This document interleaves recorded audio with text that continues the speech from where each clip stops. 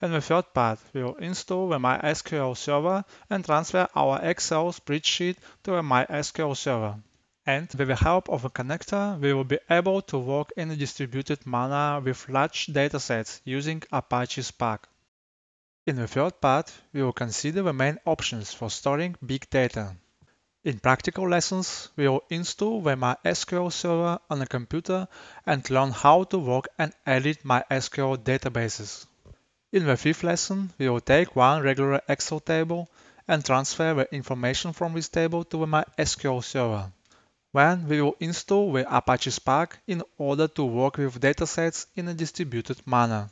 When to process the distributed data, we export the data from MySQL into the Apache Spark.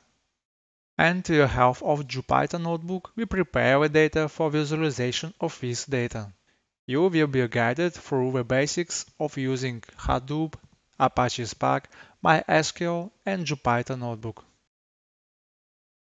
When I got acquainted with the topic big data and machine learning myself, I often came across problems when installing software and errors while installing various libraries and tools for working with big data. It took me a lot of time to find the right solutions, and I would like to save this time for you.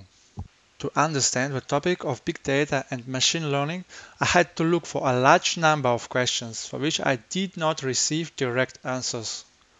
In this course, you will find answers to the basic questions related to the topic of big data and machine learning.